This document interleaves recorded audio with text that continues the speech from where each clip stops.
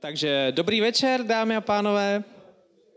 Já vás vítám eh, na naší poslední středě. Eh, moje jméno je Martin Kružík, jsem z H1, eh, živím se tam jako konzultant. Dnešní poslední středa bude věnovaná tématu věčného souboje mezi digitálními marketéry a vývojáři. Dneska vystoupí můj drahý kolega Mirek Pecka, který se zabývá webovou analytikou u nás v H1 a také Martin Henich z AVDevu, což je vývojářská společnost. Martin je projekták, má hodně zkušeností z vývoje. Mirek si pro vás připravil několik velice praktických typů na téma, jak učinit Eh, digitální marketáky eh, šťastné. Eh, je to přednáška, která je určená teda primárně pro vývojáře, sekundárně pro všechny, kdo jsou teda nějak odkázáni na, na, na vývoj, na vývoj webu. A myslím si, že to bude velice zajímavý. Martin Henich pak promluví o tom, jak správně komunikovat, jak mají komunikovat vývojáři Eh, a eh, digitální marketéři tak, aby eh, se předešlo určitým problémům při vývoji, které všichni už asi dobře známe. Pokud, jsme, pokud někdo z vás už teda nějaký webový projekt má za sebou, tak vím, o čem teď mluvím. Ty dvě přednášky budou trvat asi hodinku, maximálně hodinku a půl. Potom bude nějaký prostor pro diskuzi samozřejmě pro vaše dotazy. Eh, chtěl bych vás tímto eh, poprosit, eh, dávejte vaše dotazy do systému Slido, najdete ho na webové adrese sli.do a zadáte tam tag PSH1, dostanete se dovnitř a už můžete ty dotazy klást. Kdo byste nechtěli se tomu slajdu z nějakého důvodu věnovat, tak se můžete i přihlásit takže je tady jako základ, nějaký, eh, nějaká záložní varianta. Eh, výborně. Takže eh, já už to nebudu zdržovat a předávám slovo Mirkovi. A pust se do toho, Mirku. Tak, dobrý večer. Já dneska pro vás mám pět situací, s kterými se často setkávám, kdy si právě marketáci a webdevelopři, programátoři webu hodně nerozumějí a to způsobuje to, že nastávají chyby, nastávají nedorozumění, nastává stres a často se znova, znovu vynalézá kolo u věcí, které se stále opakují. Tak tohle je pole, pole obilí, ale, uh, ale programátor, když se řekne pole, tak si představí něco úplně jiného. Pole čísel, pole měst, prostě jakýkoliv nějaký seznam. A tohle je opera Aida a když to uslyší marketák, tak mu asi spíš naskočí něco takovýhleho fáze nákupního rozhodování. A teď něco praktičtějšího. Já budu zkoušet tu optimální jako variantu, kde být u notebooku. Jo, teď tady půl hodinku. A reálná situace. Mám nějaký kontaktní formulář a chci měřit odeslání toho formuláře. A programátorovi uh, pošlu nějaký takovýhle zadání. Po kliknutí na tlačítko Submit zavolejte konverzní kód. Tak, přijde vám tohleto zadání OK, nebo byste to tomu programátorovi zadali nějak jinak? Je, je, je tady návrh, že chybí slovo rychle, že to má asi programátor udělat rychle, že na to nechci jakoby čekat měsíc, že mě tři... nebo hned, dobře. To bych bral jako doplněk, ale ještě bych tam viděl jako jedno zlepšení. Jo, jasně, Vojta tady říká, že tam chybí konkrétní situace. To je, to je v podstatě ono, ono když uh, ten formulář bude prázdnej, a někdo klikne na tlačítko odeslat, tak ten formulář se asi neodešle, že jo? pokud to teda bude aspoň trošku rozumně naprogramovaný. A takže mě nezajímá, kolikrát lidi klikli na tlačítko, mě zajímá, kolikrát lidi odeslali ten formulář. A takže když to zadáváte programátorovi, tak mu to zadejte tak, jako že co doopravdy chcete, protože programátoři přemýšlejí exaktně a když vy řeknete, že chcete měřit kliknutí na tlačítko, tak vám programátor milé rád udělá měření počtu kliknutí na tlačítko. A takže jasně, máme tady problém, že si marketáci a web developři, programátoři webu nerozumějí. Proč mě to pálí? No, asi se shodneme na tom, že cílem webu není jen tak nějak poskládat nějaký texty a obrázky dohromady, že cílem webu je třeba informovat někoho o nějakém produktu, o službě, zaujmout ho, nebo když je to e-shop, tak prostě ho přimět až k tomu nákupu na tom e-shopu. A když to zjednoduším, tak k tomu vedou dva kroky. Potřebuju na ten web dostat nějakou relevantní návštěvnost a můžu k tomu používat eh, placenou reklamu a jako Facebook, AdWords, Google Ads a podobně. A v tom okamžiku mě zajímá, který ty kanály marketingové, který ty kampaně mě fungují a který mě nefungují, který můžu zaříznout a ty peníze přelejt někam jinam. A když už se mi ty lidi dostanou na web, tak chci, aby na tom webu udělali to, co já chci, aby oni na tom webu udělali. Rozhodně nechci, aby tam vlezli a hned odešli. A tím pádem si potřebuji ověřit, jestli ty lidi klikají na ty tlačítka, o kterých já tvrdím, že jako to je jasný, že všichni je vidějí, že určitě půjdou touhle cestou. Chci vědět, jestli se mi ty lidi nestrácejí v objednávkovém procesu a podobně.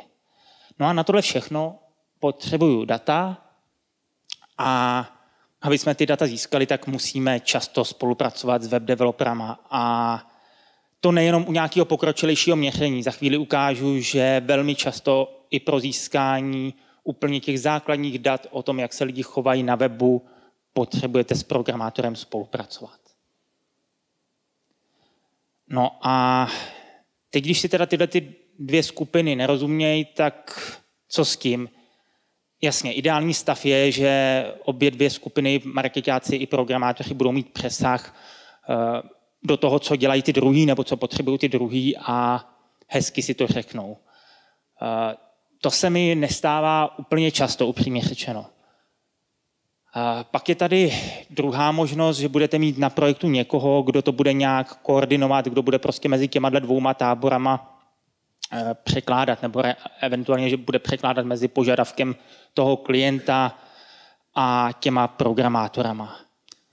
To je situace, v které já se nacházím tak posledních pět let, že často překládám právě mezi programátorama a marketákama nebo těma klientama, protože jsem devět let pracoval ve firmě, která stavěla weby a zároveň víc než deset let vlastně se zajímám o webovou analytiku nebo on-page SEO ale reálně na malém projektu eh, nebudete mít člověka, který vám takhle to bude koordinovat a který vám bude překládat mezi těma dvouma skupinama lidí.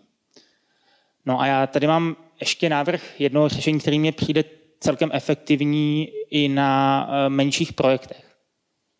Oni totiž ty věci, co marketáci potřebují měřit nebo eh, potřebují tam dát nějaký měřící systémy, ty požadavky se stále opakují, jsou furt stejný, nebo minimálně jsou stejný na určitých typech projektů, takže na e-shopu potřebuju určitý data, na jednostránkovém webu, který mě sbírá e-maily, potřebuju zase zjišťovat nějaký jiný věci o chování lidí.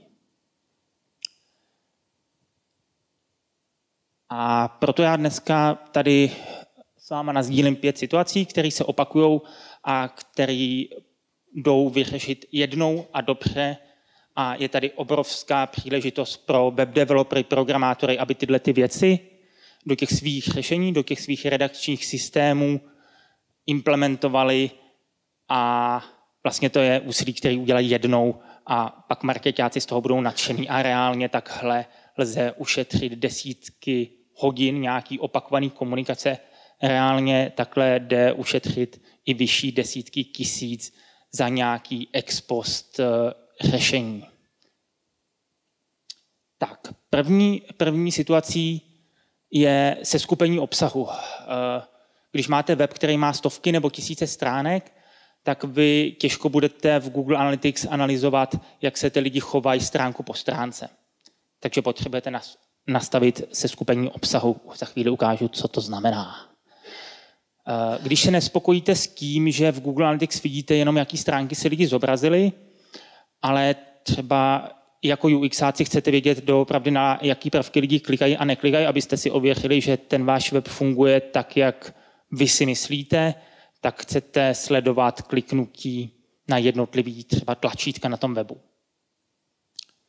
Když máte jednostránkový web, tak tam, abyste zjistili vůbec, jestli ty lidi tam nějak interagují s tím webem, tak si rozhodně nevystačíte s tím, že tam copy-paste vložíte základní měřící kód Google Analytics. No, kapitolou samou pro sebe jsou moderní weby postavený na JavaScriptu, takzvaný Ajaxový weby, kde když zase tam jenom copy-paste dáte měřící kódy, tak vám to nebude fungovat. A poslední věc, eh, když na webu máte přesměrování, tak jak je udělat takovým způsobem, abyste úplně nepřišli o data o zdrojích návštěvnosti na vašem webu. Tak, než se pustím do těch pěti bodů detailně, tak malá odbočka ke Google Tag Manageru. Google Tag Manager je nástroj, který umožňuje marketákům spravovat ty marketingové kódy, které se musí dávat na web. Když nepoužíváte Google Tag Manager, tak vždycky, když eh, chcete nasadit nějakou novou marketingovou platformu, třeba Facebook, tak musíte požádat programátora, aby do kódu toho vašeho webu vložil nějaký kód. A když máte Google Tag Manager, tak vy si tyhle ty kódy můžete vložit sami přes webový rozhraní Google Tag Manageru. A to není, to není jediná nevýhoda. Ono reálně na těch velkých projektech, který běžejí třeba eh, tři roky nebo pět let, tak se tam za tu dobu nakupí mnoho marketingových nástrojů, jejich kódy se do toho webu dají, oni se tam ty kódy taky občas dávají kvůli tomu, že je nová kampaň. A dopadne to tak za chvíli, že tam jsou klidně i desítky nějakých kódů, který můžou zpomalovat web nebo tam dělat nějakou neplechu, ale nikdo se neodváží je odstranit, protože už nikdo neví, k čemu tam ten kód byl, takže je lepší ho tam vlastně nechat. A Google Tag Manager eh, vám tohle usnadní, protože máte přehled o tom, jaký kódy tam máte a můžete je snadno třeba jenom zapnout, vypnout. A ještě jednu výhodu. Ono, když do těch systémů posíláte nějaký data, třeba na e-shopu, číslo objednávky a hodnotu objednávky, a děláte to pomocí Google Tag Manageru, tak v tom kódu toho vašeho webu jsou jenom ty data, které potřebujete dostat do těch systémů, jako číslo objednávky a její hodnota. Takže ten kód je maličkatý, vypadá takhle jednoduše, jak je na slajdu. A tyhle ty data se pak můžou propisovat do dalších systémů, který vy tam máte a jednak nepotřebujete při přidání dalšího toho systému uh, otravovat programátora a za druhý máte zajistěný, že ty data jsou konzistentní, že do jednoho systému třeba neposíláte ceny včetně DPH a do druhého systému bez DPH. A tohle ještě není poslední výhoda Google Tag Manageru doopravdy. Já jsem se do něj zamiloval.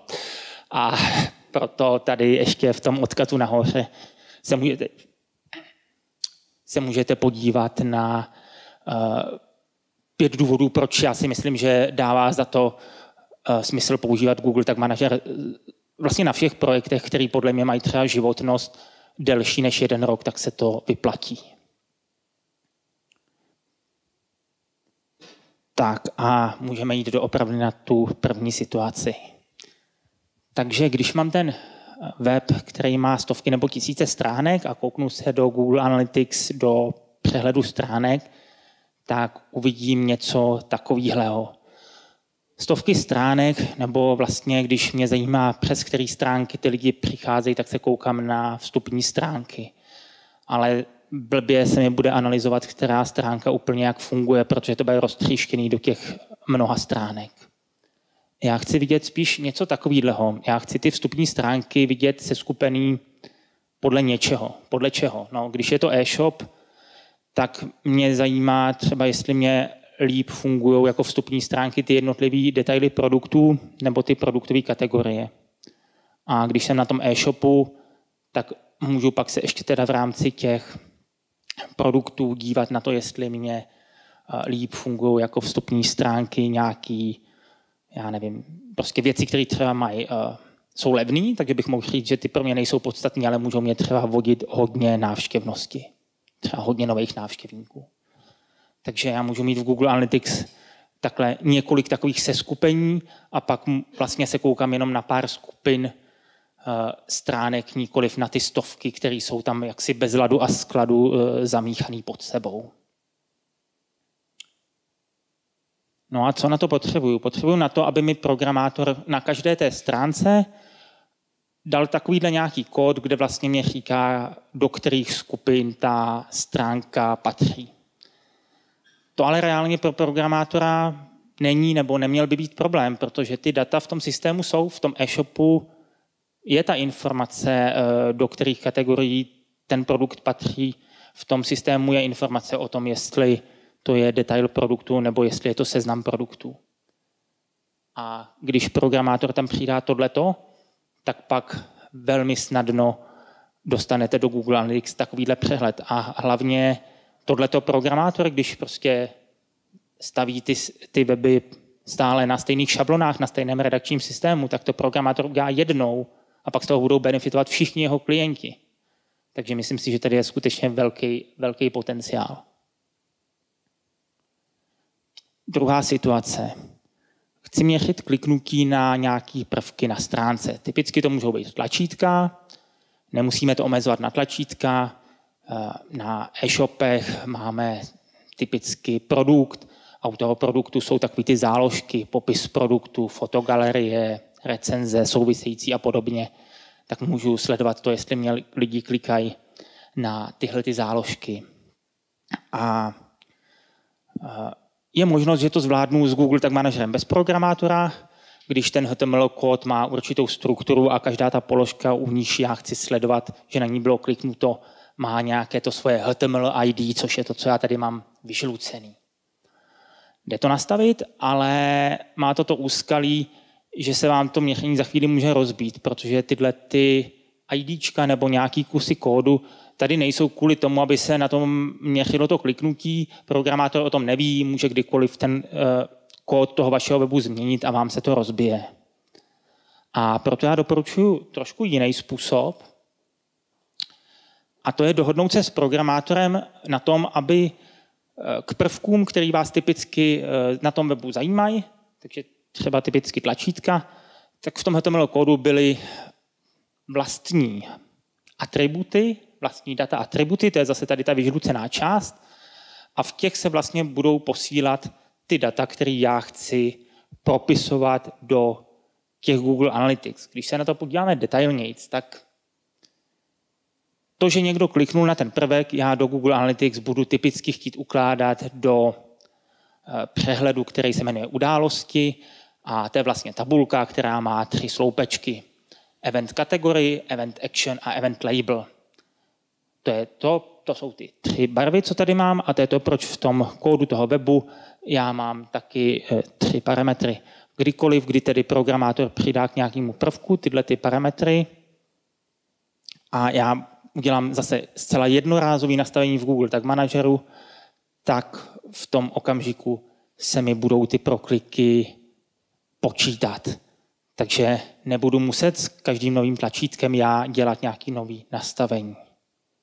Ale je to o té dohodě. Je to o tom, že prostě když ten programátor třeba pro vás dělá i víc webů, tak se s ním dohodnout, že hele, tohle je pro mě důležitý, my jsme prostě tady do UX redesignu dali milion, tak nás fakt jako zajímá, jestli to funguje, tak prostě tady do toho něco zainvestujeme a když ten programátor pochopí, že to má tu hodnotu třeba nejenom pro vás, ale i pro dalšího klienta, tak třeba vám dá i slevu.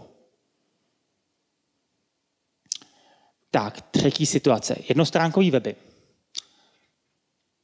V Google Analytics, eh, když mě zajímá, eh, jestli ty lidi eh, zaujal ten obsah na tom webu, tak se koukám úplně na takové základní metriky. Je to bounce rate, to je česky okamžité opuštění webu, je to počet stránek na návštěvu a je to průměrná doba návštěvy. No jo, ale když jsem na tom jednostránkovém webu, tak počet stránek na návštěvu bude asi jedna. Eh, průměrná doba návštěvy se počítá tak, že to je čas mezi zobrazením jedné stránky a druhé stránky. Takže na jednostránkovém webu mě to zase nebude fungovat. No a bounce rate, to je to, bounce znamená, že ten člověk vlastně přišel a odešel. Takže jakože přišel na stránku a hned odešel. Nezobrazil si žádnou další stránku. Na jednostránkovém webu si žádnou další stránku nezobrazí. Takže tahle ta metrika mě taky nebude fungovat. Takže tady mám tři takové úplně základní metriky a ani jedna mě neřekne, jestli eh, na ten jednostránkový web přivádím lidi, kteří to alespoň trošku zaujalo. To je docela jako průšvih a těch jednostránkových webů je hodně. To bývají typicky takový ty microsity, na který jsou nějaký speciální kampaně. Co s tím? Ty jednostránkové weby typicky jsou takový dlouhý weby, které mají nějaký sekce. A vlastně ty sekce plnějí roli těch stránek. Jo, může to být nějaký úvod, můžou to být nějaké vlastnosti produktu, nějaký detailnější popis. No a když v tom zdrojovém kódu toho webu tyhle ty sekce budou mít zase svoje IDčka, ideálně nějaký smysluplný, tak velmi snadno s Google Tag Managerem bez další nutnosti něco chtít po programátorovi eh, získám takovýhle přehled. To jest, kam až mi ty lidi doskrollovali na tom webu nebo když tam nahoře mám meníčko, který mě rovnou skočí do nějaké té sekce, tak mám jasnou informaci doopravdy, kolik lidí se mi dostalo až na kontakt, kolik lidí si vůbec četlo třeba ty detaily o tom produktu. A dokonce to můžu udělat tak, že můžu to nastavit, že se mi to do Google Analytics bude, tyhle ty sekce se mi budou ukládat do toho standardního přehledu stránek, takže vlastně místo page views budeme mít takový, řekněme, section views. Vlastně budu to mít téměř k rozeznání od vícestránkového webu.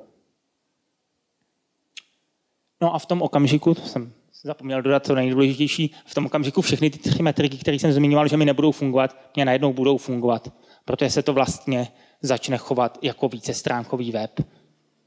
Bude mi to počítat i tu dobu návštěvy, eh, když to udělám šikovně, tak mě to klidně bude počítat i počet stránek na návštěvu, když vlastně místo stránek tam budu započítávat zobrazení těch jednotlivých sekcí. Tak a teď moje nejoblíbenější situace, protože to je takový jako největší průšvih, to je ta situace s těma javascriptovými a Ajaxovými webama, to je s těma webama eh, často postavených na eh, technologiích React a AngularJS což lidi, co dělají SEO, tak ty si s tím taky užívají, těm to taky generuje hodně zábavy a zakázek a tak. A kde je ten problém s měřením? Na takovýhle weby, když dáte doopravdy ten základní měřící kód nebo remarketingový kód takovým tím standardním způsobem, jak vám říká nápověda, tak vám to nebude fungovat. Oni vám tam nějaký data budou padat, ten dynamický remarketing vám tak nějak jako trošku bude fungovat, ale vlastně zjistíte, že jako to vlastně úplně nefunguje. Ale zjistíte to třeba až po chvíli, že jo. A před deseti lety, když nebyly žádný takovýhle JavaScriptový weby, tak to bylo jednoduchý. Instrukce říkala, dejte měřící kód do každé stránky. Dobrý, tak programátor dá měřící kód do každé stránky, a když já jdu z homepage na stránku produktu, tak se mě načte ten měřící kód, který je na stránce produktu a započte se mi to do Google Analytics. Ale na těch javascriptových webech to funguje tak, že se vlastně načte ta stránka celá jenom jednou s těma všema měřícíma kódama a pak už se jenom část toho, co je na té stránce, překreslí a už se znova nezavolají ty měřící kódy. A tím pádem Google Analytics a ani další systémy vůbec neví, že jsem se dostal z homepage na stránku produktu. A takhle to funguje vlastně při průchodu celým tím webem, takže to klidně může vypadat tak, že člověk, který si zobrazil pět stránek, to vypadá, že si zobrazil jenom jednu stránku, typicky tam budu mít vysoký bounce rate, vysokou míru okamžitého opuštění webu. A co s tím? Zase potřebuji programátora, jasně, žádná novinka a potřebuju, aby v každém okamžiku, kdy se mi načetla ta další stránka, Jinými slovy, když se mi překreslil ten obsah té stránky, tak programátor mě musí poslat informaci o tom, že se to tak stalo. To je ten kód nahoře, kde tam vidíte to GA page view. Vlastně musí mě říct to opravdu o tom, že je tam jiná stránka. Jakmile to jednou dostanu do toho Google Tag Manageru, tak tuto informaci snadno můžu poslat do všech systémů, ať už je to Google Analytics, Google Ads, Facebook, cokoliv. No a ten problém s tím JavaScriptem nastává i na webech, které nejsou úplně takhle 100% JavaScriptový, ale určitě se vám stalo, že jste odeslali nějaký kontaktní formulář a po odeslání se nezměnila ta adresa, jenom tak jako zmizel ten formulář a zobrazila se vám nějaká zelená hláška, že děkujeme za zprávu. No a zase, to je situace, kdy ty analytické nástroje standardně vůbec nepoznají, že se ten formulář odeslal a vy musíte se dohodnout s programátorem, aby po úspěšném odeslání formuláře zavolal nějaký kousek kódu. To je vlastně ta situace, kterou jsem zmiňoval na začátku. A tohle to jsou všechno ty věci, které je dobré si dohodnout na začátku. Takže skutečně to vlastně znamená, že i ten, kdo zadává ten web, musí tušit, že tam jsou nějaký takovýhle úskolí a že jsou tam nějaké věci, které by s tím programátorem měl otevřít na začátku toho, kdy si nechává eh, stavět web, nebo si to nacenit. Jo, stejně tak jako zadavatelé webu by měli vědět nebo ví, že by ten web měl splňovat nějaké požadavky eh, kvůli SEO, kvůli vyhledatelnosti, tak analytika je prostě další oblast, kterou je potřeba si pohlídat. No a mám tady poslední bod. To mě někteří programátoři říkali, že jsou to úplný základy. Zároveň je to věc, na kterou přeci jenom stále narážím. A to je to ta věc, že když máte na webu přesměrování mezi jednou stránku na druhou, tomu se často nevyhnete, zvlášť když redesignujete web nebo redesignujete nějakou sekci webu, tak je potřeba, aby když, přechází, když dochází k tomu přesměrování z jedné stránky na druhou, tak se nestrácely ty parametry za otazníčkem, takzvaný query parametry. Protože v nich, eh, jak víte všichni, co používáte Analytics nebo Google Ads, tak v, tomhle, v těchto parametrech, buď v těch UTM parametrech Google Analytics, nebo v tom good slid parametru pro uh, Google Ads, je vlastně ta informace o tom, z jakého zdroje a z jaký kampaně mě ten člověk přišel. No a když se mi důsledkem toho přesměrování ten parametr ztratí, tak já přijdu o tohle informace a nejsem schopný vyhodnotit, jestli teda ty náklady uh, vynaložené na tu kampaň uh, byly vynaloženy dobře nebo ne. A to řešení je strašně jednoduchý. Záleží na konkrétní technologii, kterou, která je na tom webu použitá, ale třeba když eh, na tom webu je technologie Apache Web Server, což je velmi častý na takových těch úplně obyčejných eh, webech, třeba které jsou jako v PHP, tak stačí, aby tam při tom přesměrování byl nastavený parametr QSA, je to velmi podobný i při jiných technologiích, takže zase je to věc, která je triviální a jenom potřeba si ji pohlídat. A i vy jako klienti, jako marketáci si můžete snadno vyzkoušet, co se děje, když eh, máte na webu nějaké přesměrování, tak jestli se vám tam ty parametry ztrácí nebo ne, a nebo konec konců při tom přesměrování třeba může dojít i k nějaký chybě, že to skončí chybou 404 stránka nenalezena. Já rád používám tyhle ty dva webové nástroje HTTP Status IO a Digma.com URL check od Romana Apataura.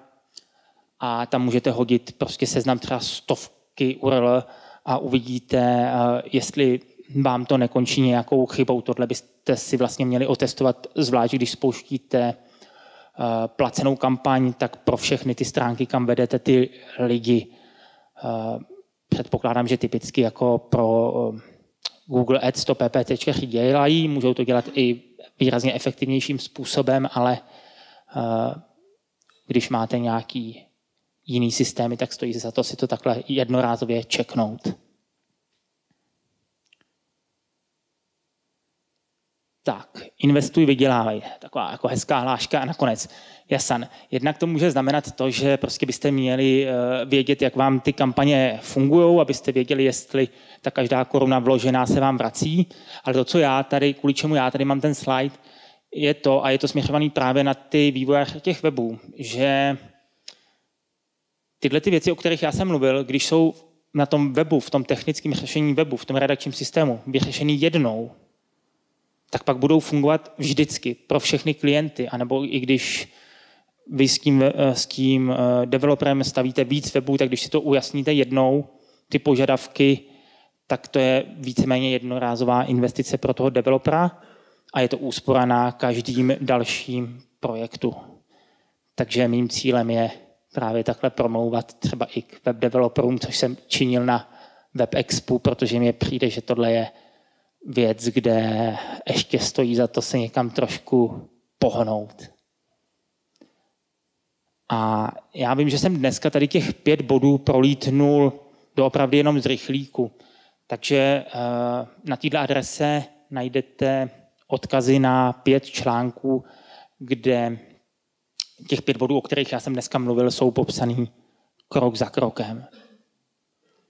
A to je všechno z toho mýho povídání. Já se moc těším na to, jaký vy máte zkušenosti a zážitky z práce s developerama a, a nebo developery s marketákama a na tu naší diskuzi, která bude po tom, co nám tady Martin povíd, další povídání. Výborně, Mirko, děkuji. Já myslím, že to zaslouží potlesk.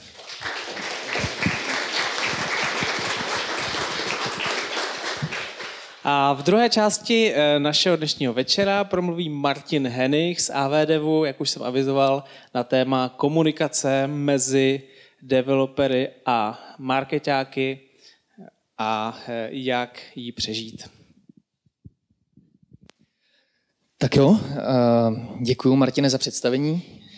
Já jenom doplním u nás v AVDevu, Martin mě představil jako projektáka, ale ty zkušenosti, které získávám na projektech, eh, jsou s širokým přesahem. Děláme tam přibližně sedm let eh, weby od malých přes střední až pro větší e-commerce řešení. A takže ty zkušenosti, které mám, jsou eh, z vyšších desítek projektů a rád bych se s váma o ně podělil. Úplně na začátku, co to je online marketing friendly web? To je něco, co se moc nepoužívá. Já si zatím představuji něco, co znamená, že když vy jako marketéři a si k takovému webu sednete, tak budete mít od rána do večera úsměv od ucha k uchu a bude se vám s tím webem skvěle pracovat. Budete mít eh, možnost ho dobře měřit, budete mít možnost si na něm vytvářet landing page pro kampaně a budete mít možnost s ním pracovat způsobem, jakým budete chtít. A když takovou stránku toho webu nazdílíte na sociálních sítích, tak eh, se nazdílí tak, jak jste si představovali, ne s, nějakým, s nějakou chybovou hláškou nebo něčím podobným. A tohle je věc, eh, v který nám do toho vstupují marketáci a vývojáři. Eh, úplně na začátku bych se zeptal, kdo je tady a považuje se za marketáka? Můžete zvednout ruku? Super, skoro všichni, bezva. a je tady někdo, kdo se považuje za vývojáře? 8 lidí přibližně. Dobře, tak máte, eh, mají marketáci rozhodně převahu. A ten vztah mezi námi a vámi a vypadá často nějakým takovýmhle způsobem. A dost často se zbytečně soupeří, dost často se zbytečně složitě komunikuje, co je potřeba vyřešit. Plyne to z řady nedorozumění, o kterých budu mluvit. A já mám za tu dobu, co weby děláme, poznatek, že marketáci si často myslí, že vývojáři jsou blbci, a stejně nic neumějí.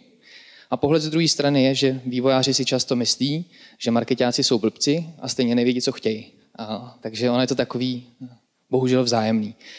Nikam to nevede a ten, ten cíl by měl být rozhodně společný a to spokojený návštěvník webu a provozovatel webu. To bylo hezký. A nám tohleto vadí, vadí to asi všem a snažili jsme se pochopit, v čem je vlastně problém. Přibližně před rokem jsme si udělali takový dotazníkový šetření, v rámci kterého jsme se ptali specialistů v oboru, co jsou ty věci, které jim konkrétně na vývojářích vadí. Podařilo se nám dostat 103 odpovědí v rámci různých specializací a s různou délkou praxe. Ten dotazník byl jednoduchý, měl čtyři otázky, za jakou specializaci se považujete, jaká je vaše praxe v oboru, a měli jsme nějaké hypotézy toho, co nefunguje, tak každý si mohl zaklikat, co si myslí, že nejlíp odpovídá tomu, co mu fakt vadí. A pak jsme tam měli doplňující možnost rozepsat nějaký jako svůj vlastní názor. Jo. Dobrý? Jo, super, děkuji.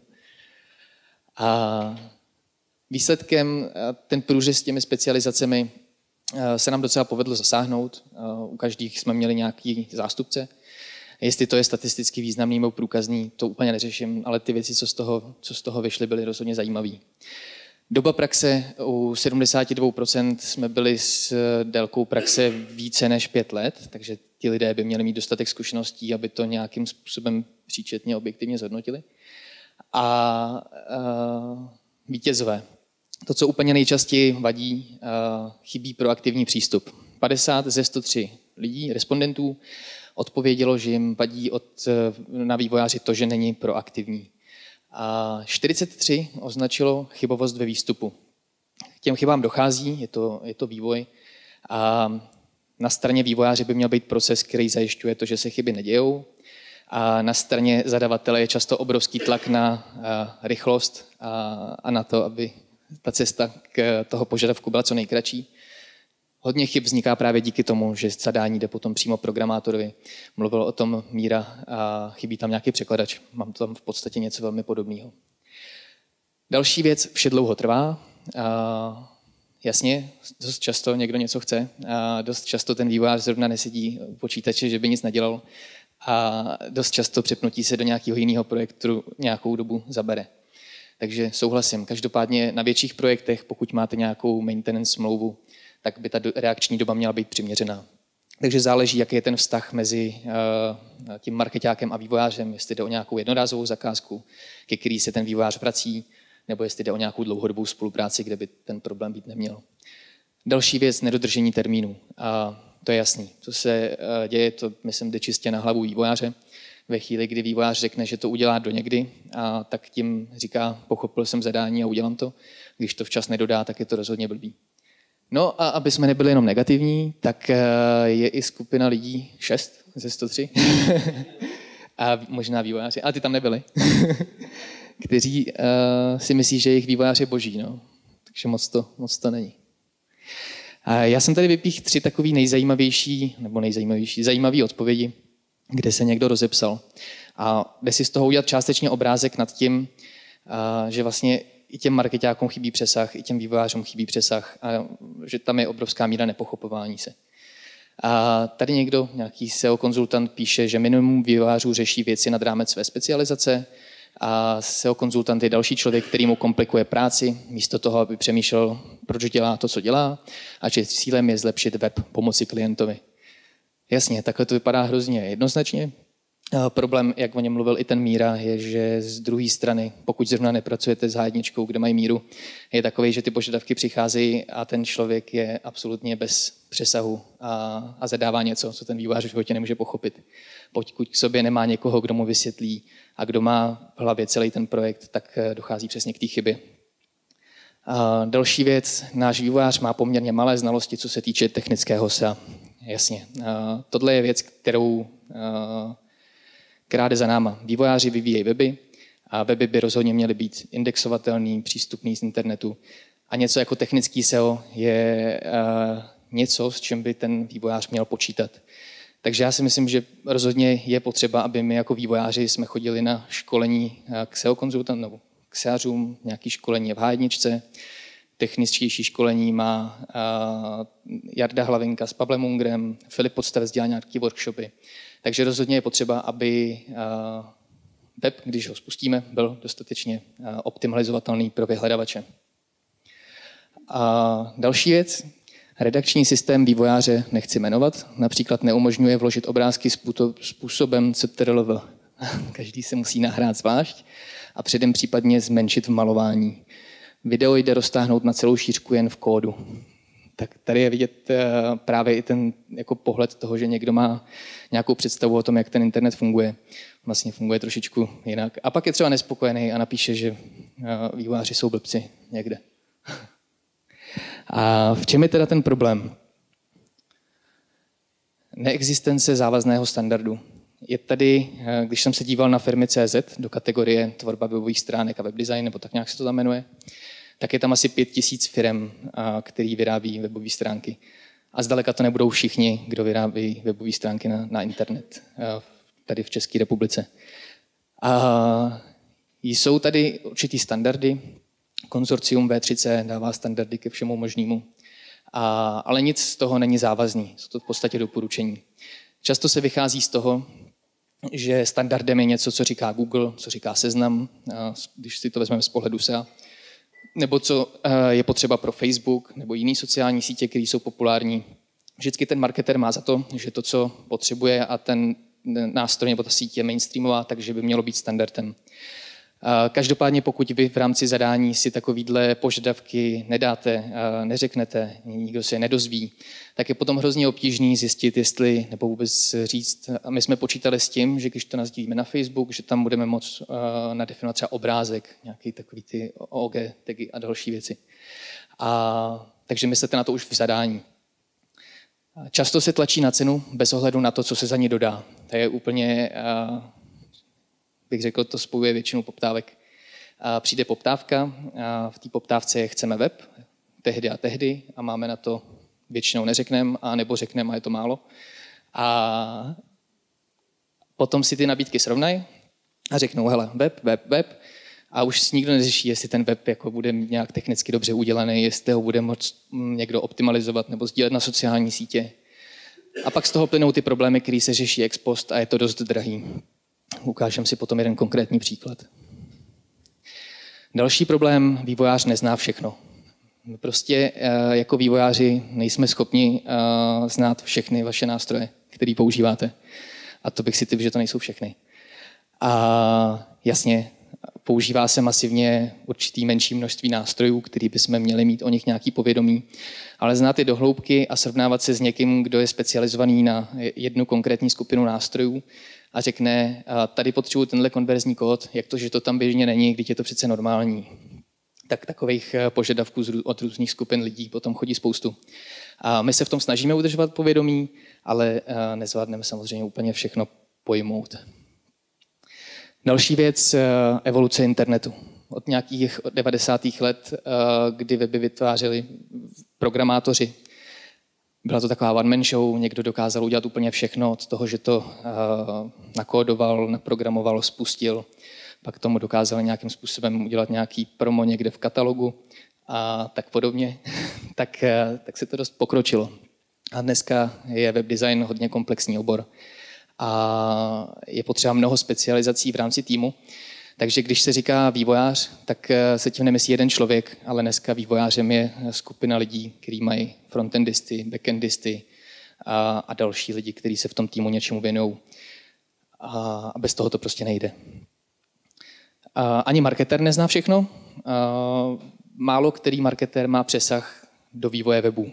A prakticky, a, když jste se hlásili skoro všichni, a Může se přihlásit někdo, kdo má nějakou zkušenost s vývojem webu, jakože umí trochu v PHP, v HTML, jasně. Nějaký lidi to jsou, super. To jsou většinou lidi, s kterými se strašně skvěle spolupracuje, protože si umějí představit, co to znamená a umějí popsat zadání, který se potom dá implementovat. Takže je dobrý, když se to povědomí udržuje obou straně. A chybí překladač mezi programátorem a zadavatelem. O tom mluvil Míra. A já jsem o tom mluvil v souvislosti s chybovostí. Hrozně často se stane, že někdo ve firmě nějaký projekták nemá čas, tak ten e-mail od klienta přepošle na vývojáře. Ten si k tomu sedne a změří mu tlačítko, kolikrát se na něj klikne. A jak říkal Míra.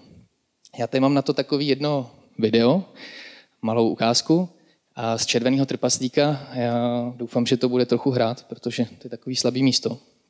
Ale ve všem ti přece pomáhají robíci. Jo, prcek a ten drzí bubla. Na co mi jsou? To je jako dávat slepému kontaktní čočky. Robíci dělají jenom to, co ty jim řekneš. Ano, to tedy nepochybně.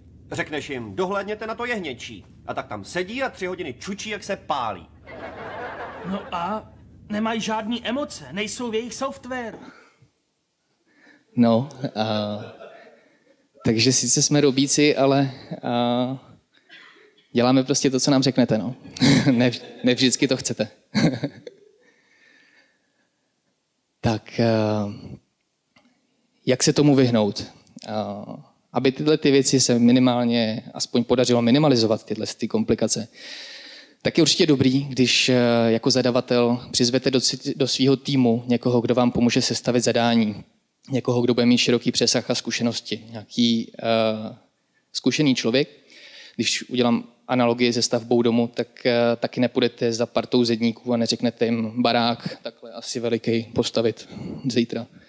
A, ale půjdete za někým, kdo je architekt a on vám to naprojektuje. A něco takového se často u tvorby webu vynechává nebo je tam někdo, kdo není úplně kompetentní. A podle toho pak vypadá celá ta realizace. Takže je dobrý. A je to i naše zodpovědnost, aby jsme jako vývojáři chtěli kvalitní zadání a dávali zpětnou vazbu k tomu, co by se mělo. A jako specialista chtějte být na projektu od jeho zadání. A pokud vstupujete do projektu ve chvíli, kdy běží, tak velmi pravděpodobně tam bude něco, co vám nebude vyhovovat nebo bude vadit. Ve chvíli, kdy jste na začátku, eh, v nějak, u nějaký předimplementační analýzy, a dokážete říct, hele, já jako analytik budu potřebovat, abych každou URL uh, trackoval, abych na každý URL měl v data layeru třeba obsah drobečkový navigace nebo něco dalšího, tak uh, my s tím můžeme počítat, připravíme to a ten web potom vám bude fungovat tak, jak chcete. My jako vývojáři bychom měli chtít, aby všichni členové týmu byli součástí. Měli bychom teda klienta edukovat a říkat mu, že vývojem se nekončí a myslet do budoucna hodně těch problémů, které vznikají, vznikají právě tím, že vývojář eh, tomu zadavateli vůbec nic neřekne, plní jeho zadání. Možná je mu i jasný, že to není úplně super, ale hlavně, že ta zakázka padla. A ve výsledku potom vlastně si sami nabíháme na vidle. Takže myslím si, že tohle je úplný základ problému. A je to něco, co my jako vývojáři můžeme hrozně jednoduše ovlivnit. A říkat, co se bude dít dál a, vy, a snažit se vysvětlovat. Nespolehejte se sami na sebe, pokud si nejste sakra jistí, že víte, co děláte. Nemůžete rozumět všemu. Pokud chcete uspět, budete potřebovat celý tým. To je spíš za zadavatele webu, za někoho, kdo ho potom provozuje ve finále. A máme společný cíl, nedává smysl v podstatě spolu soutěžit. Je moc hezký, když projekt projde hladce, je úspěšný, marketáci si napíšou pěknou případovku, vývojáři si napíšou pěknou případovku, zákazník na web chodí, konvertuje, a, a všichni jsou šťastní. A Míra mě poprosil o, nějakou, o nějaký konkrétní příklad z realizace, kde se to moc nepovedlo. Takže jsem tady připravil takový náš malý fuck up. A my, když jsme implementovali první naše větší e-commerce řešení, takový pilotní projekt, tak jsme se na začátku samozřejmě ptali, co všechno tam bude potřeba a jaký všechny specializace s tím budou upracovat ve finále a co všechno musíme implementovat. Došli jsme k tomu, že tam bude Google Analytics a že budeme Enhanced e-commerce eh, měřit nějaký konverze, že tam budeme posílat na poslední stránce objednávky nějaký data. Takže jsme něco málo k tomu věděli. Řekli jsme si, jasně, super, to není problém, ty data v tom systému přece jsou, to máme, to jako bude fungovat. Tak jsme to nakonfigurovali a to, co jsme si pod tím představovali, skutečně fungovalo. Po měsíci k tomu přišel analytik a ten jenom upřesnil zadání, asi na 10 stránek a říkal, na týdle URL v těchto kategoriích chci měřit tohle, tady chci posílat tamhleto. My jsme si k tomu sedli a zjistili jsme, že ty data sice jako v databázi někde jsou, ale ta architektura té aplikace neumožňuje nebo nepřenáší tyhle ty data na jednotlivých pohledech a to znamená, že my je tomu analytikovi prostě poslat nemůžeme.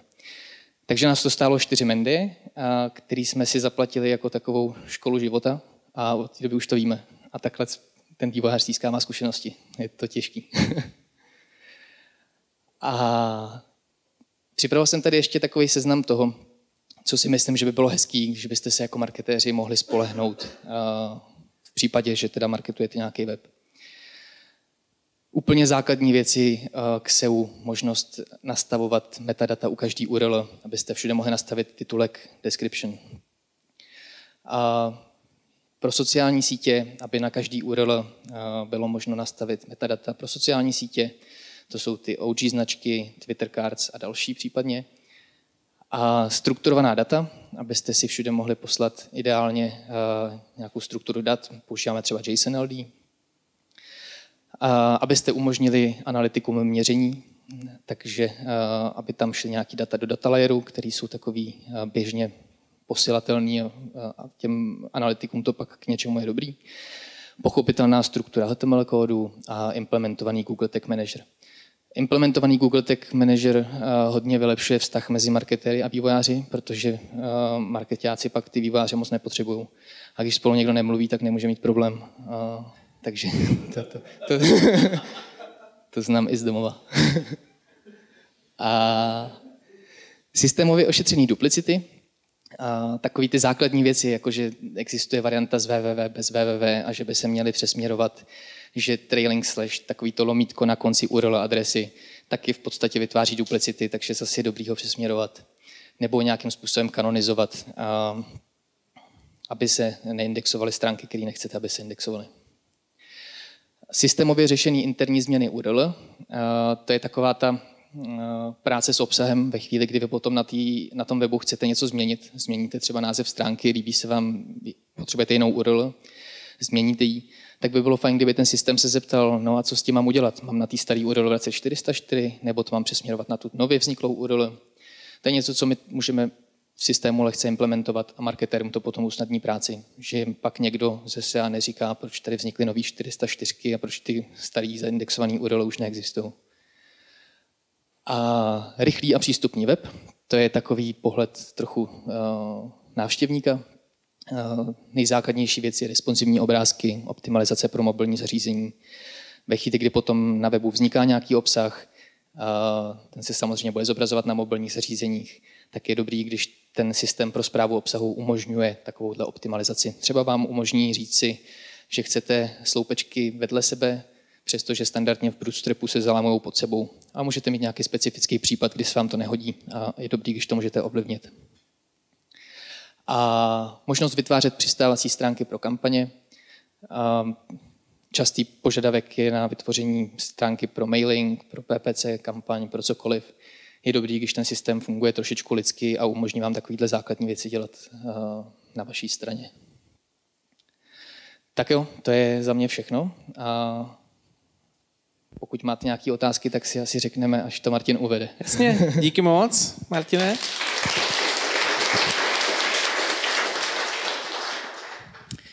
Tak výborně. Děkuji oběma eh, pánům. Eh, já vám teď můžu sdělit, že se nám tady zatím nahromadili čtyři velice pěkný, dokonce bych řekl přátelské otázky, takže bude radost je rozdělit mezi vás dva. Začnu asi tebou. Martine, je tady otázka od anonymního uživatele. Ptá se, jak jako like v praxi poznám Ajax Web? No, jako úplný like. Uh, no, ano, jako úplný like Aha. zřejmě, no. Podle mě to nepoznáš. Protože to se dá docela dobře a správný je, když se to ošetří a ty to skoro jako nepoznáš, pokud mm. se teda jedná o webovou stránku, kde se použije nějaký Angular nebo React. A tak je potřeba, aby se to server-side renderovalo, aby tam vznikaly nějaký, uh, nějaká struktura URL adres. Že pokud se to udělá správně, tak to nepoznáš. Pokud se to udělá blbě, tak to poznáš, protože si třeba vypneš JavaScript a ta stránka tam není. No, jasně. Ale jako like si asi nevypneš JavaScript. Uh, ne, prostě to nepoznáš. Jo, mně napadla jedna věc, co možná by možná mohlo pomoct uh, tazateli, že vy vlastně, když si načtete Ajaxový web a pak jako přecházíte mezi těma stránkama, uh, tak nahoře vždycky, jako když je to klasický web, tak je tam uh, třeba v Chromu, jo, je tam uh, takový kolečko, který se tam otáčí, jo, a když je to Ajaxový web, tak tam to kolečko nebejvá, že jo. Jasně, tak uh, Ale to, je to by asi jako, šlo, no. takové jako... Ale jestli to... opravdu, no Mirku. Je jako pár indicí, já jsem před rokem, když jsem mluvil o podobném tématu, jsou doplňky do prohlížeče Chrome, který vám vlastně ukážou, jaký technologie se na tom webu používají a tím je myšleno právě technologie jako ten zmiňovaný AngularJS nebo React, ukáže vám to prostě třeba i jestli tam je to GTM, není, je to prostě takový rychlej check, neřekne vám to stoprocentně, ale řekne vám to, hele, je tady nějaký zvýšený riziko, že je tady ta problematická technologie, o které už jsem někdy slyšel. Tak si to jako prověřím. Jo, jo. to asi jo. Eh, super, dobrý. Pojďme k další otázce. Ta bude teď eh, na Mirka. Eh, je to dost podobná otázka třeba už si na ní odpověděl. Jak jako like v praxi poznám, že má web technologii Apache? To znamená, jako, že běží na Apache serveru. No tak to ještě hůř než teda ten Ajax. Jako. Takže zase úplně tohle to si nemyslím, že má like jako zjišťovat. Jo? To, tady, tady, podle mě, tady podle mě by mělo stačit to zadání pro programátora ve smyslu uh, nesmí se mi tam ztrácet ty parametry, nebo prostě vzít si třeba, OK, dejme tomu že na tom webu mám sitemapu, že mám tak kvalitní web, že tam mám sitemapu, takže seznam všech mých URL webů a k tomu, když si přidám nějaký parametry, hodím si to do těch nástrojů, co jsem zmiňoval, tak uvidím, co se mi s tím stane. Jo, to, tohle je spíš o tom skutečně jako jenom vědět ty rizika a podle mě si je spíš jako čeknout při diskuzi s tím, s tím dodavatelem. No je pravda, že když si to čekuje ve fázi, kdy mu ten dodavatel to prodává, tak samozřejmě ten dodavatel umí samozřejmě úplně stoprocentně všechno a dělal to stokrát a to vy neodhalíte, jestli v tom okamžiku lhal nebo ne. No. Eh, já nevím, jestli toto existuje nějaká třeba internetová služba, jako že by rozeznávala ty, ty servery.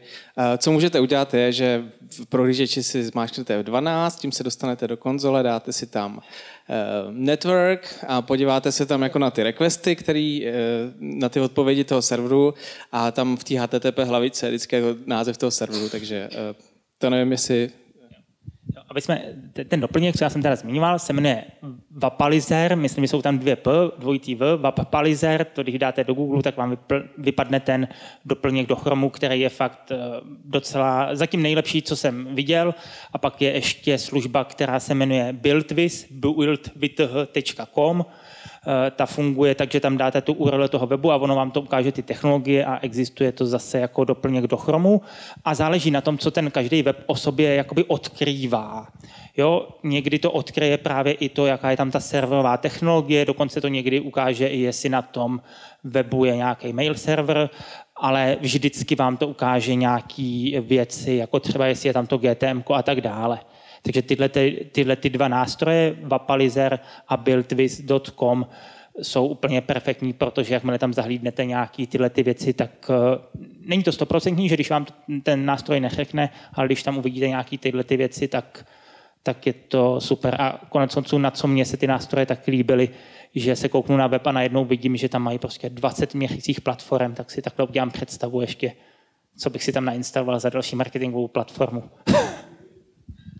Eh, výborně, děkuji. Eh, další otázka. Eh, tentokrát na Martina. To je taková záludná trošku, jo, a mně se jako líbí. Co bylo dřív, vývojář nebo marketák? No, vývojář, že jo, by neměli marketáci co marketovat. Jo. Dobře. Nebyl náhodou dřív marketák?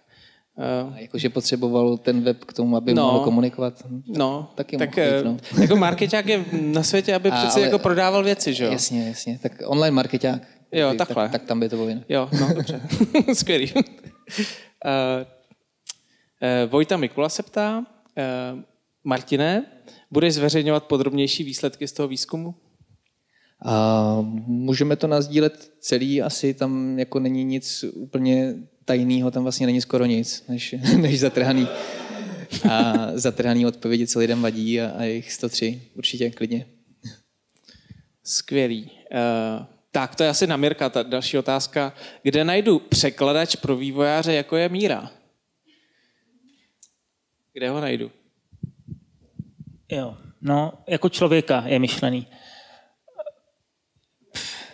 já nevím, no, jako u mě, u mě ta situace byla taková, že jsem uh, byl takhle. Já si myslím, že ta šance je trošku u toho, že nebo když já jsem s těma že webama a tak dále začal před 12 lety, tak přesně, jak Martin zmiňoval, tak ty lidi tak jako by se snažili dělat všechno, že jo? Na svém webu jsem si samozřejmě dělal grafiku, takže samozřejmě umím Photoshop, že jo? A prostě všechno, že jo? Eh, tak prostě ty lidi, co se o to zajímají, prostě nějak jako víc, že mi přijde, že to může být let, kdy nějaký student, který si bastlil ten svůj web jen tak, protože ho to zajímá a dělal si na tom všechno tím pádem. Tak tohle je podle mě jakoby dobrý kandidát na to, že bude mít ty přesahy. Někdo, kdo si prostě sám svůj web, jako že ho to bavilo, tak si řekl, hele, mě to baví, tak já si prostě k tomu musím nastudovat i něco o tom SEO a tak dále. No. Takže někdo, kdo si postavil svůj web, je ten ideální kandidát. No, ale teď ho najděte. No. Uh, Jo, a to, to je určitě cesta, jak to jenom doplním. Eh, já si myslím, že tenhle ten překladač by každá vývojářská firma měla mít eh, jako jednu pozici ve svém týmu protože ty požadavky vždycky přicházejí a vždycky to někdo tomu programátorovi by měl ideálně přeložit. Měl by být někdo jako analytik nebo projektový manažer toho projektu, kdo domyslí to zadání a, a zadá ho. A to teda neodpovídá na to, kde takového člověka sehnat, ale měla by to být spíš e, jakoby snaha toho vývojáře nebo té vývojářské agentury než e, klienta. Ten si myslím, že by měl mít k sobě někoho třetího, kdo bude spíš e, takový technický dohled, eh, zhodnotí nebo pomáhá, pomáhá vytvářet zadání a pomáhá potom eh, kontrolovat kvalitu výstupu toho, toho vývojáře jako takového. Aby to nebyl, tam je dobrý, když to není někdo na straně vývojáře, kdo si všechno odsouhlasí, že to je skvělý. a je to skutečně někdo jako třetí.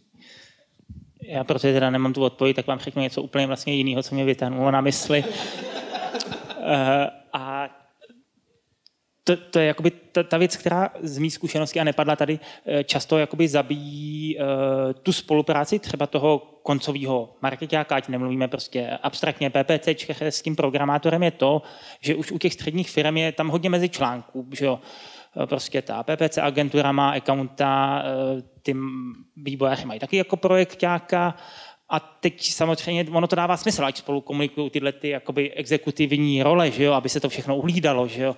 Ale eh, já jako když implementuju webovou analytiku, já chci prostě kontakt na toho programátora, protože jedině tak se reálně jako dohodneme. Tam je prostě úplně nesmysl, aby veškerou komunikaci procházela přes toho accounta nebo přes toho projektáka, ať je v kopii, ať má prostě přehled o tom, že se na tom nepálejí prostě hory času, že to ten klient zaplatí, jasně, ale prostě ta přímá komunikace je nezbytná, aby se ty věci dotáhly.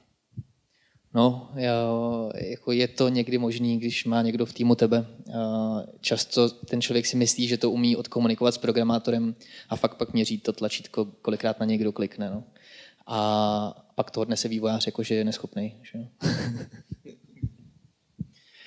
Eh, dobře, takže aby jsme postavili dobrý web, tak potřebujeme marketingovou agenturu, pak potřebujeme vývojáře, pak potřebujeme ještě jako třetího, jako kdo teda jako, je, jako s nima komunikuje vzájemně. Eh, tak to není úplně jako jednoduchá věc, no, ale když se to udělá správně, tak eh, to pak zase může fungovat, takže má to i své výhody. Mám tady jednu takovou otázku, nejsem si jistý, jestli úplně jako chápu, a je na Mirka. Jo? Pro měření kampaní z hlediska agentury je lepší mít nasazený GTM ve zdrojovém kódu nebo na stránce. Je otázka, eh, jestli tomu správně rozumím, tak je tam, eh, jestli, tak je to otázka směřující na to, jestli je dobrý mít ty kódy v GTM nebo přímo na webu. Je to tak? No, jo, jo. Jo, jestli je lepší je mít jakoby v tom zdrojovém kódu nebo v tom GTM.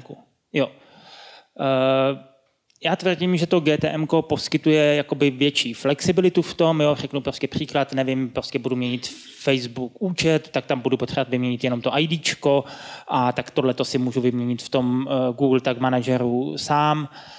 Uh, a nebo ten základní kód, já nevím, třeba řeknu si, že tam chci mít heatmapy, tak prostě uh, začnu používat Hotjar nebo nějaký nástroj a takovýhle základní vložení těch kódů já tam zvládnu dát úplně bez toho programátora.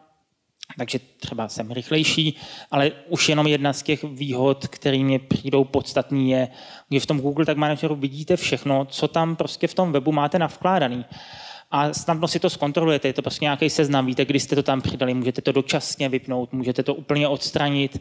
To v tom zdrojovém kódu se vám bude eh, špatně jako zjišťovat, co, co tam je všechno za ty kódy. No.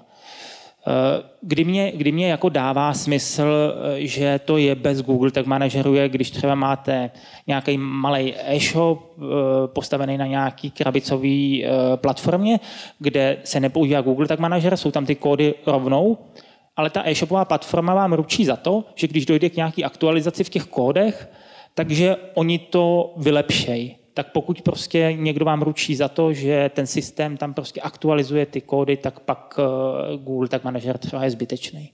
Nevím, jestli jsem odpověděl úplně na tu otázku, nebo jestli tam byla nějaká jakoby konkrétní situace, kdy tak či tak. Jo. Já ještě jenom, Míro, můžu k tomu ještě taky něco. Určitě. A nám to přijde hrozně super, když to jde, tak se to dá do Google Tag Manageru, protože a, ta přehlednost a, těch kódů, kde jsou, který tam jsou, kdy se spouštějí, jaký mají závislosti, tak je tam na jednom místě. Ve chvíli, kdy to dáváme do zdrojového kódu a ne vždycky to lze udělat nějak jako pěkně, tak je to rozestrkaný všude možně a najít v tom potom jenom, kde se co spouští, kde, kde je vydefinovaná jaká URL routeru, pro kterou se to má zavolat, tak je dost složitý. Takže po nějaký delší práci a, a nasazování a mazání a předefinování a se z toho stane takový docela nepřehledný guláš. A pak se to blbě a, vůbec reportuje, co tam je, kdy, kdy tam je. Jo, když, dá se to dělat i pěkně, ale ne vždycky na to čas. No. Ještě k tomu Google Tag Manageru bych doplnil věc, o které se často nemluví a trošku si tím jako podřezávám větev, jo, ale na to já jsem expert. Uh, prostě ten Google Tag Manager, když k němu někdo má přístup a může tam vkládat nějaký kódy, tak si s tím vaším webem může dělat jako skoro cokoliv. Takže uh, byste měli doopravdy tomu člověku, kdo tam má ty plný práva důvěřovat stejně jako tomu vašemu tvůrci webu. Vlastně protože ten člověk vám tam může třeba omylem dát něco, co vám zpomalí web, nebo nějak vám to jako rozbije. Takže mm, jo, na to mě vlastně, na, na tuhle myšlenku mě přivedli vlastně lidi, kteří vyvíjí jakoby velký softwary ve velkých korporacích a tam ten software prochází několika kolama testování, než se prostě cokoliv na ten web nasadí, tak je to prostě strašně testovaný. A vlastně takovýhle workflow je třeba nastavený pro vývoj toho webu, než se spustí, nevím, v nějaký prostě bance, pojišťovně něco, ale ten Google Tag Manager je tak nějak jako z toho vyjatý, že jo? Ten vlastně třeba nespadá pod IT a najednou má jiný pravidla a přitom tam jsou jakoby nějaký rizika. Eh, bezvadný, děkuju. Eh, další otázka, to asi není jako konkrétně na Mirka, spíš jako na H1, jako na agenturu. Jestli chodíme jako SEO konzultanti do firmy, jestli se zapojeme eh, do eh, agilního vývoje a denních stand-upů. No, tak Mirku, chceš na to odpovědět? Dobrý, nechceš, tak je to na mě. No, neděláme to. neděláme to, protože Eh, takhle, samozřejmě do toho vývoje se nějakým způsobem eh, zapojeme, jsme na schůzkách s klientama, třeba to asi se děje. Ty schůzky určitě nejsou jako každý den, protože kdybyste měli eh, každý den na schůzce SEO specialistu, by to jako poměrně asi jako nákladná věc a nemyslím, že by to bylo, bylo jako úplně účelný, protože tam mám pocit, že jako stačí jako nižší frekvence těch těch, jako té komunikace. Uh, nedovedu si představit, co by jako každý den ten SEO specialista tam úplně jako řešil na těch, na těch stand-upech. Hmm. Uh, možná ty, Martine, nemáš nějakou takovou zkušenost. Hmm, jako, že by k nám někdo Chodil, posílal no, nějaký SEO konzultant. By tam prostě. s náma seděl a, a dělal to s náma? No, no. no nikdo ano. nám ještě nikoho takhle neposlal. No. Ani to Jako mohla, možná by to bylo jako zajímavé vyzkoušet, ale ještě jsem to v životě neviděl. Jo, určitě by bylo fajn, kdyby v rámci uh, toho vývoje a, a plánování sprintu byl někdo, kdo konkrétně dokáže v tom agilním vývoji ovlivnit to, jak ta část bude fungovat a byl v tom kompetentní, takže ale ne, nebyl jsem v takovémhle týmu, kde bychom to měli takovýmhle způsobem poskládaný. OK, super. Tak, uh... Další otázka. Jak často se stane, že se právě kódy vložené přes GTM neodpálí? Jak moc je GTM oproti vložení do zdrojáku pomalejší? Tak to je zase na tebe, Mirku. Přemýšleno, ne, nedělal jsem prostě testy na nějakým počtu klientů, abych dokázal říct, eh, že je to o něco pomalejší. Prostě na, na to nemám jako já data, který bych prostě dokázal jako sdílet a věřil bych tomu sám. Reálně se mi ale nestalo to, pokud ten web, prostě pokud tam není nějaká specifická situace, specifická technická komplikace, takže by uh, to jako byl problém. Jo? Upřímně řečeno, který kód já taky potřebuju, aby se mi uh, spustil hned, jo? protože uh, na čtení stránky, tak pokud chci třeba tohle započíst, tak uh, mě to klidně stačí upřímně řečeno i s půlsekundovým nebo sekundovým spožením, protože asi spíš mě zajímá ten člověk, co na té stránce jako pobyl aspoň sekundu, že on asi si z toho jinak moc jako nevzal. Takže k tomuhle nemám jako data, abych, abych to řekl a vlastně nemám tolik impulzů, nebo vlastně nemám skoro žádný impulzy k tomu, abych tohle reálně jako musel řešit. Uh, výborně. Uh, tak, uh, já myslím, že všechny ty otázky jsme probrali. Ještě se zeptám do publika, jestli bych se chtěl někdo přihlásit.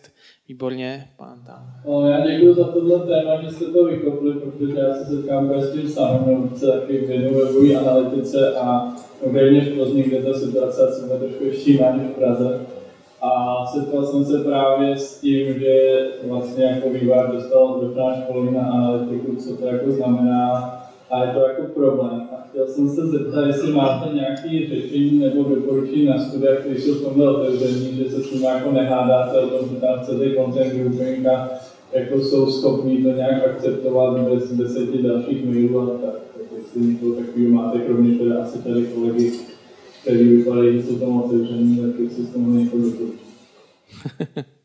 Já nevím, jestli můžeme vůbec někoho tady doporučovat. To, mě upřímně taky prolítlo hlavou, tím pádem jsem škrtnul to jméno, co mě prolítlo hlavou a odpovím na to jakoby lišácky, ale doufám, že to bude mít nějakou hodnotu trošku. Uh, pokud ta firma není extrémně malá, jakože v ní je prostě taková ta firma, co ty tři kluci a všichni jsou vlastně jakoby ty borci, že jo, tak v těch větších firmách reálně vždycky budou ty juniory a vždycky budou ty seniory a přiznejme si, že jako mezi tím se bude dost lišit jako ta, ta kvalita. Jo. Takže je to, mně přijde často o jako vyjednávací schopnosti taky toho klienta, jako toho zadavatele, aby, eh, když třeba tam ten senior je, aby si fakt jako dupnul a řekl, hele, tady s tím vaším člověkem to jakoby je blbý, tak má nějakýho šéfa, já bych potřeboval aspoň, aby se můj specialista na SEO, nevím, analytiku s ním sešel a dohodnul se, jak to teda uděláme, protože nám to nějak jako nejde s tím člověkem, který ho vy jste nám jakoby dali do týmu. Tak tohle je situace, která se mi jakoby jednou, eh, jednou vlastně jakoby eh, stala a takhle jsme to jako řešili. A, a najednou to šlo. Jasně, no, když tak pak to můžeme probrat v kuloárech. Prosím, Martine.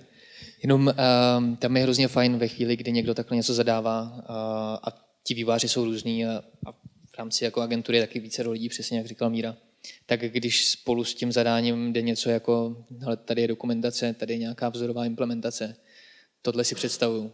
A pak ta firma musí mít někoho, kdo to tomu programátorovi vysvětlí a tam si přesně myslím, že není dobrý se hádat s tím konkrétním programátorem, protože prostě pokud to nechápe a to téma je široký, tak to dopadne možná takže to bude nějakou chybu třeba.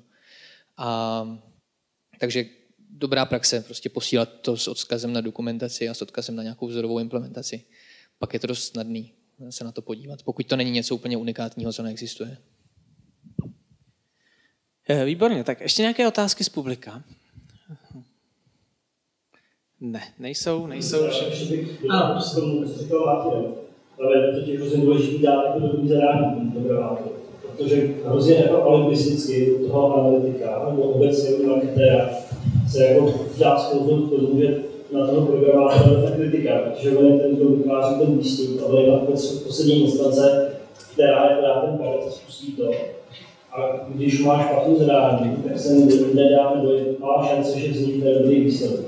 Takže jak už jsem to spoustu implementačních návrhů pro třeba nasazení nějaké analytiky. A to je velmi jako vážně definovaný zadání, ze kterého pak ten programátor sám jako vlastně neví, jakým způsobem s tím má naložit. To je velký problém těch, eh, kdo vytváří ty dokumentace a vůbec zároveň práce programátorů. Že se spolu lidi bavit a nevědět, jak má to zadání. To je velký téma, taky myslím, protože to se to tady No a můžu teda k tomu to doplnit, když teda vývojář že je dobrý zadání, tak uh, se nepokládá, už se neřeší s tím. Že ten vývojář často nepozná, že to zadání je blbý, protože to bude rozumí. Ale ono je to aktivní, to je výsledek svého výzkumu, že jo? Prostě on dostane zadání, no. dej to na kliknutí na tlačítko a on to prostě udělá, protože je zvyklý takhle pracovat. Ale pak stačí, nebo je, je to různý, ty jsou různý, ale prostě stačí si s ním zavolat, vysvětlit mu to pokojinace, možná si s ním na pivo, No, to je, uh, Vojto, ještě co máme jako fajn zkušenost, jestli takhle interně fungujeme nebo se snažíme fungovat, a, tak jsou takový jako user storky, který budou říkat, a, my chceme docílit toho, aby ve chvíli, kdy nám někdo odpoví na kontaktní formulář, se nám to změřilo do analytiky. A prostě něco takového jako popisu, a to už jako každému dojde, že, není, jako, že nestačí klik na tlačítko, ale že měříme odchozí e-mail a bude sám přemýšlet o tom, že asi bude potřeba něco víc, třeba nějaký uh, request co se, nebo nějaký volání, co se vrátí třeba po odeslání toho formuláře ve chvíli, kdy fakt odejde. Tak se snažíme fungovat. Můžu se ještě doptat, tady počítám, že jsou tam vývojáři, jak byste si to zadání představovali, nebo hm, zase z pohledu třeba toho marketáka, ten asi ne, to nenapíše, ten kdo z toho pohledu analytika možná jo, ale No přesně, přesně tímhle tím způsobem. My chceme docílit tohohle toho. Ne jakoby vytvářet zadání technický, jako že chci klik tady, udělej tohle, protože to se pak přesně vznikne tenhle ten problém, ale říct si, my potřebujeme měřit ty a ty data, a jako analytici potřebujeme, aby se nám tyhle ty čísla, když se tohle stane, objevovaly. A dělá se to prostřednictvím tady toho a tady je odkaz na dokumentaci třeba. A těch dokumentů, tam je totiž problém, jo, spoustu těch nástrojů má různé verze implementací, takže nám někdo řekne, my chceme tohle, vývář si sedne ke Google, napíše tohle a ono je to třeba ve verzi jiný a nefunguje to, nebo něco se s tím děje dalšího. Že čím je to zadání takový jako že to vlastně není zadání pro programátora, ale zadání jako pro člověka, tak je pochopitelnější a ten někdo na straně nás potom je schopný vývojáři říct, hele, napiš tady v tomhle kontroleru takovouhle funkci, která bude vracet tyhle hodnoty sem. A takový zadání si myslím, že nesestaví marketák a neměl by se o to prostě pokoušet ideálně, pokud fakt neví, že ví, co dělá. Takže nejde jako o kód, ale spíš o přesný Jasně. Jo, já myslím, že je fakt pár lidí, kdo dokážou napsat takový zadání. A jsou to přesně ty marketáci, kteří mají obrovský přesah do, do vývoje a vědí, prostě, čeho chtějí docílit a pak teda dokážou říct něco jako smysluplného. Mě k tomu napadlo ještě, že mm, jednu jsem zapomněl, dobrý, tak tu druhou. E, jak Vojta mluvil o tom, e, že prostě to zadání je často vágní a to se ještě teď bavíme o tom, že jako je nějaký začátek projektu, to je ještě vlastně ta krásná fáze, kdy prostě, že jo, všichni ulovili toho nového klienta, tak se vlastně vlastně snaží, že jo. No ale pak je ještě ta fáze udržovací, kdy už tam netečou takový prachy, tak žádná z těch firm už jako reálně na tom třeba není tak zainteresovaná, pokud to není jako fakt velký jako projekt, který prostě furt jede. A pak tam se ještě pinkání nějaký drobnosti, no a tam pak nastává ještě jako větší průšvih, že jo? protože tam už eh, je potřeba udržet tu komunikaci aspoň tak nějak, že fakt musíte mít někoho, kdo je zase podle mě jako dobrý projekták, nebo mu to takhle myslí, kdo dokáže číslovat věci a vracet se k těm bodům, nazývat ty věci konzistentně. Jo? To, to, to je úplně na jinou jako debatu a nemusí být o marketingu a developerech. Ale je prostě strašný, když máte komunikaci v 15 e-mailech a je to stylem eh, to, co se nám minule rozbilo, tak to teď zapínáme. Jako, a to jako není neobvyklý a a já z toho úplně jako rostu, což zrovna u mě není úplně ideální. A, a, a přijde mi divný, že to jako nikdo nezastaví takovouhle jakoby neplodnou diskuzi, že lidi jako žijou radši v té víře, že si všichni rozumíme. No to nemůže dopadnout dobře. No. Musíte mít někoho, kdo to srovná trochu. Mně se ještě hrozně líbí, když vždycky chodí ty uh, komunikace e-mailem, který se snažíme ideálně nepoužívat. Ale, a, a jsou tam ty texty typu odpověď jsem zeleně vepsala, to, co je v oranžový, už možná neplatí a, červený jsme zrušili třeba, už nechceme. A nemá to žádný čísla, nemá to nic a někde to pak ztratí barony cestou. no a tak jako projektový řízení je úplně samostatný téma, si myslím. A samozřejmě to je to, co potom ovlivňuje hodně výsledek. Eh, tak výborně, já vám, eh, pánové, velice děkuji. Já myslím, že to zaslouží velký potlesk.